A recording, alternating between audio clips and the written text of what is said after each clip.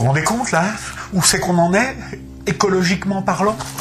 Non mais c'est carrément flippant, là c'est alarmant, là toutes les études le disent, là elles, le revendiquent toutes.